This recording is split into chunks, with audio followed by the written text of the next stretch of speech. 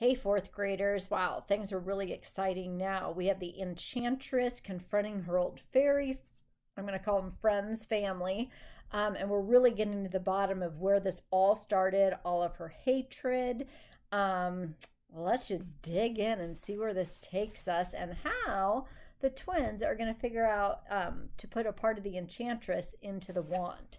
Okay, thank you, Little Brown Books Publishing Company, for letting us do this online. All right, so here we go. You're the ones who renounced me long before I ever did, Ezmia said as she glared at the rest of them. You ignored me, excluded me, and hated me from the minute I arrived. The world may be convinced that you had nothing to do with my change of career, but I'll always know the truth. You made it impossible for me to be anything but disliked. The enchantress ran a finger along the arm of her old chair, remembering remembering all the painful memories of her time as a fairy. The cruelest thing you could do to someone is to force them to hurt all alone. And you left me hurting on my own many times, Ezmia said. Every time I was heartbroken, I would go to the rest of you hoping to receive any kind of compassion. But you let your jealousies get in the way of showing me any sympathy. You actually enjoyed watching me suffer, relishing the first time that something distressed me. Emerald, um, yeah, Emerelda surprised the enchantress and the other fairies with what she said next. She didn't deny this. I admit that even we were guilty of being less than perfect at times. Uh, but as we have grown from our mistakes, your mistakes have just grown. Good play on words there, don't you think? Ezmia uh, snorted and slowly clapped in Emerelda's direction. Touche, the enchantress said. You managed to admit you were wrong and scold me all in one breath. Hmm. You're good at the leadership thing, Em. No wonder they replaced me with you. I was not a replacement, she said. You were never what this council needed. Ooh. No, I was never what this council wanted. Big difference, Ezmia said sharply. They chose you, Emerelda, because you are more beautiful. And the world always listens to a pretty face over an average one. And even though I changed my appearance and gained beauty over time, they still chose you over me because you were easier to control. You were the fairy godmother's puppet one I could never be. Emerelda returned her scornful stare. Well, I'd rather be a toy than a tyrant, she said. But I'm assuming you didn't come here to reminisce. So, what brings you back to the kingdom? Ha! A small grin appeared on the enchantress's face. She was delighted to get a rise out of the fairies. Well, the truth is, I've become rather bored waiting for you and the other rulers to gradually hand their kingdoms over to me, Ezmia said, taking a seat on her old chair. So I've decided to invite them all to the new home I'm building for myself and get it all over with. I'm so anxious for this whole thing to conclude as much as you all are. None of us are going anywhere with you, Xanthias said, and his flames rose. Ah, a cunning smirk grew on the enchantress's face. Ah, yes, you are. It's not an option. The enchantress snapped her fingers, and the ground started to rumble with the power of a dozen earthquakes. All the fairies looked to one another, petrified of what was coming their way. Ah, uh, um, chasers, vines exploded out of the floor and seized the fairies in the room. Desperately tried to free themselves, struggling against the vines, struggling against the plants with all their might and all their magic. But it was no use. The plants were way too strong to escape. Ezmia roared with laughter as she watched the vines coil around each fairy council member and drag them to the ground. Emerelda sank her hands into the ground to prevent the vines from dragging her away. You won't win, Ezmia, she declared. Oh, But I will, the enchantress said, looking down at her with another smile in her eye.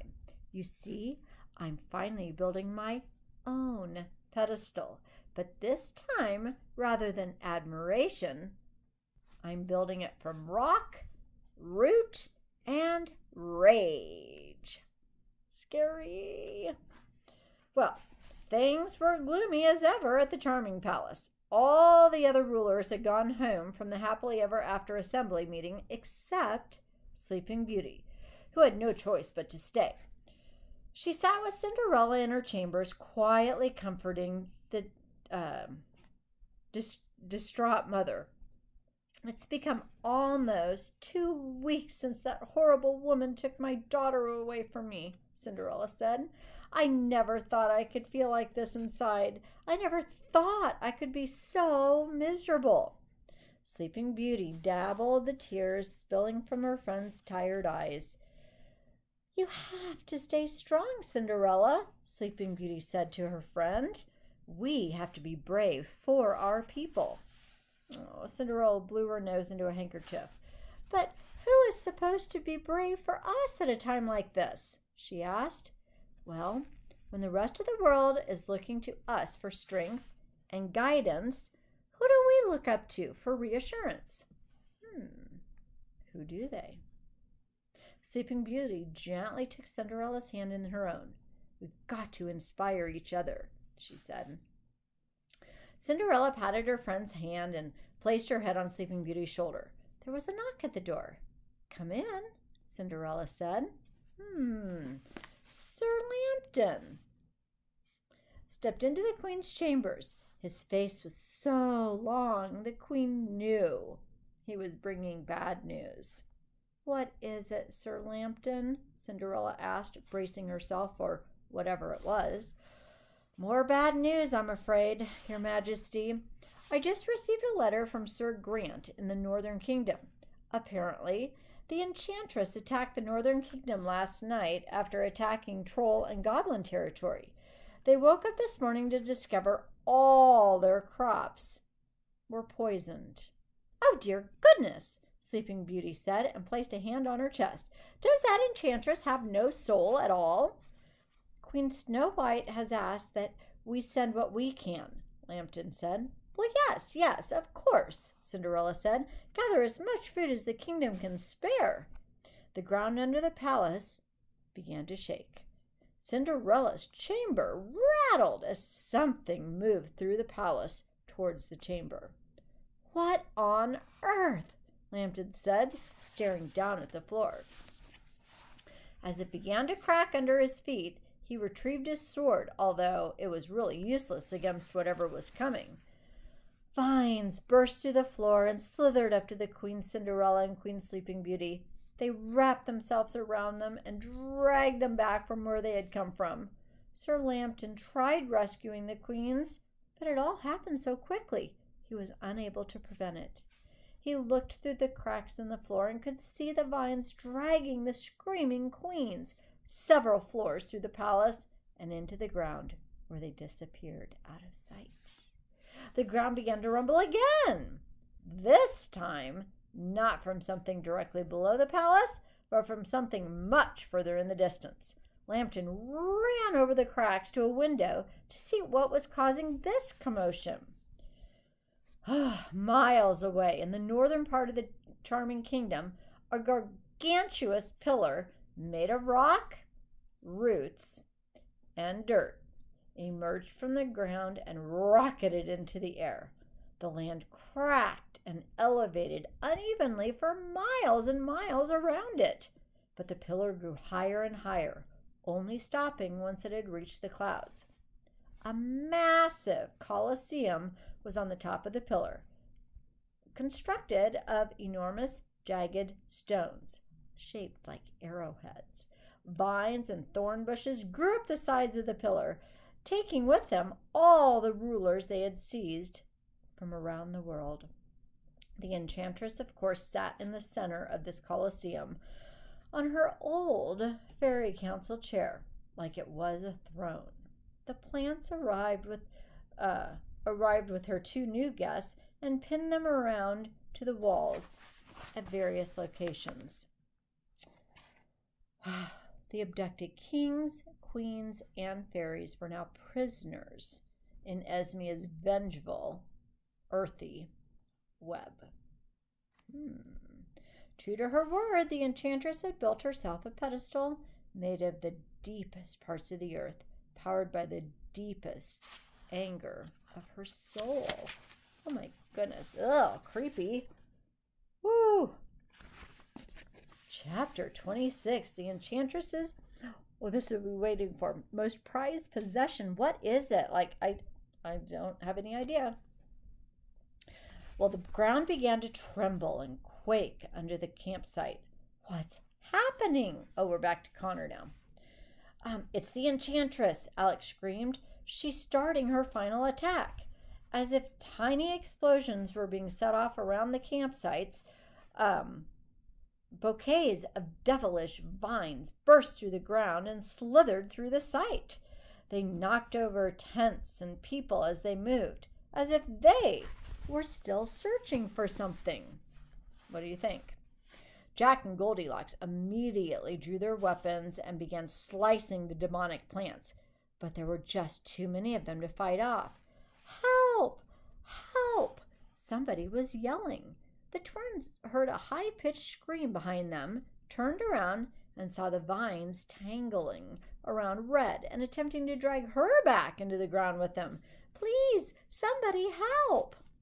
Jack and Froggy both ran to her, throwing themselves on the ground and reaching a hand towards her. Red was almost all the way underground. Only one hand was free. She looked to Jack, and she looked to Froggy. If there these were the last moments of her life, well, she had to decide right then and there with whom she wanted to spend them. With just at that moment, Red grabbed hold of Froggy's hand. He was shocked to see her hand land in his. Red gasped and grasped hold of Froggy's hand. You chose me, Froggy said, looking into her eyes. Both of them recognized the significance of the moment. Yes, yes, I choose you, Red said, and a very small smile appeared on her face. She pulled him closer and kissed his slimy green lips, not repulsed by his appearance or texture whatsoever. The vines climbed over Red and began wrapping around Froggy. Jack grabbed hold of one of his legs and Goldilocks grabbed the other. The vines, though, were just too strong for them to pull Froggy and Red free. But Jack and Goldilocks were not going to give up. The vines moved past Froggy and began growing around the whole group, pulling all four of them towards the ground. Well, can they be of more use if they're all underground together? Maybe they should let go and go. So as Alex and Connor were on their way to help, they heard another cry. Butterboy! Trollbella yelled from across the camp. The vines had wrapped around her and were dragging her into the ground as well. Oh, Connor grunted and looked around. Can someone else please save Trollbella? But all the other trolls and goblins were too afraid of the vines to go near her. Please save me, Butterboy, Trollbella cried. Ah, okay, fine, I'm coming, Connor yelled. So he and Alex changed their course and ran for the young troll queen instead. Connor grabbed Trobelina's Trollbella's hand and Alex grabbed Connor's feet. They tried to pull her free, but the vines, guess what? Were too strong. Are they all going to get pulled underground here? Kind of seems like it. This would be so romantic if it weren't for the possessed plants pulling us apart, Butterboy, Trollbella whispered dreamily into Connor's ear. Oh dear. The vines began to creep past Trollbella and on to Connor, pulling him in with her. Alex, You've got to let go of me, Connor yelled behind himself. You can't let the vines get you. I'm not letting you go, Connor, Alex yelled back. You have to save the fairy tale world, Alex, Connor said. You have to save the other world and Mom, too. Well, big decision. Alex's grip around her brothers feet tightened. I can't save anything without you, she said. Yes, you can. It was always meant to be you. Wow, so many decisions to make here. You're the one who got us here, and you're the one who's gonna get us out.